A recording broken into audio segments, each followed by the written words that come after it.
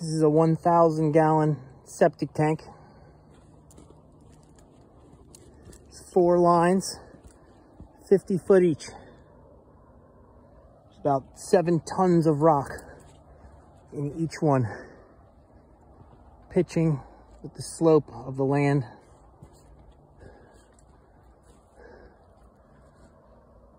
Four days of work.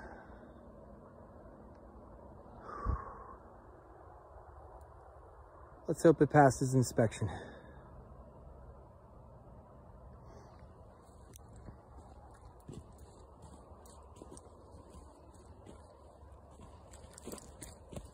Trenches are about 24 to 30. Some areas 36. Here's the bridge I used.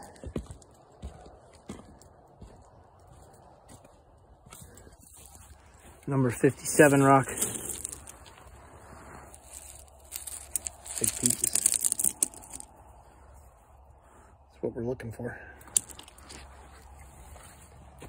Don't recommend anybody does this by themselves like I did. The only thing that justifies the labor is the cost. So this cost me about $2,300 with the rocks, fabric, septic, all the pipes. They wanted $7,000 to put one of these in. But it was absolute hell. Now I gotta backfill it on Monday if it passes, which it should, because it's all pitched. Pitched back to here.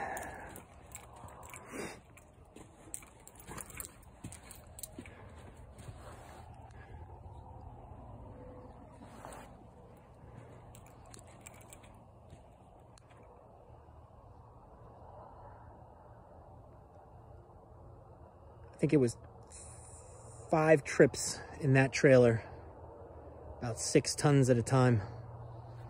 And the rest, whatever little bit was left, I would just put in the road once the machine couldn't scrape it out. Which, real quick, to end this video, I'll show you what I used to do all this work. I don't know how it's still running after the abuse I just put it through. This guy, right here. Fresh wash. This machine, as crappy as it may look, is a beast. this machine's made me at least a $100,000 since I've owned it in the last two, three years.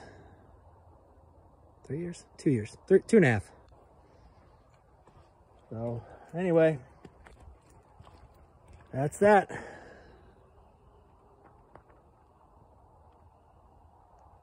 Kind of a mess.